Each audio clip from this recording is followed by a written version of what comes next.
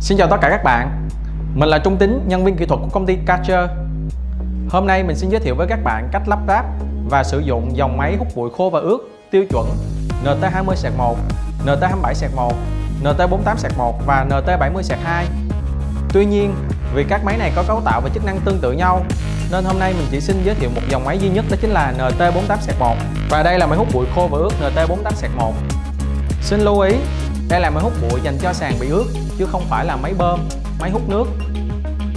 Máy được thiết kế chuyên nghiệp cho các tác vụ công nghiệp với bánh xe có phanh, giá treo dây điện và chỗ để phụ kiện.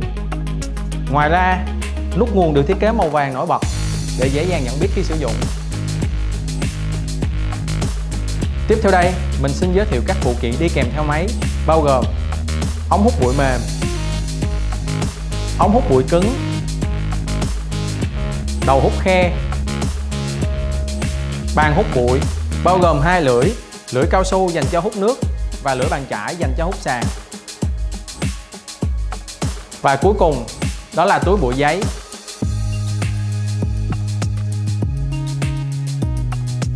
Tiếp theo đây, mình xin hướng dẫn các bạn cách lắp túi bụi cho máy hút bụi khô và ướt NT48-1 cách lắp như sau.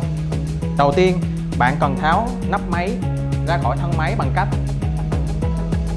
tháo hai khớp hai bên hông và nhấc nắp máy ra. Chúng ta sẽ lắp miệng túi bụi vào lỗ hút.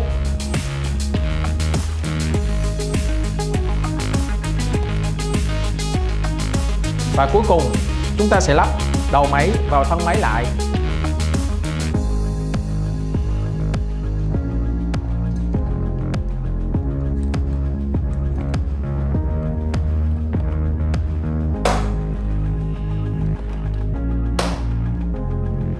Và như vậy, mình đã hướng dẫn xong các bạn cách lắp túi bụi cho máy.